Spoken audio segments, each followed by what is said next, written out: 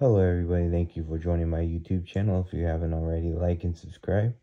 Today we're looking at a 1879S PCGS MS64 Mint State 64. This is the obverse, so obviously circulated, great detail in the hair, flowing hair, crisp date, stars are crisp, slight imperfections. And then if you go on the reverse, see the S mint mark for San Francisco, the reeded edges, sharp arrows, great detail on the feathers, eagles, great detail, the wreath, great detail.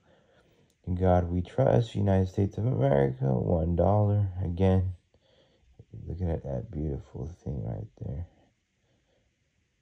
Always like and subscribe and thank you for joining my YouTube channel. Okay, bye.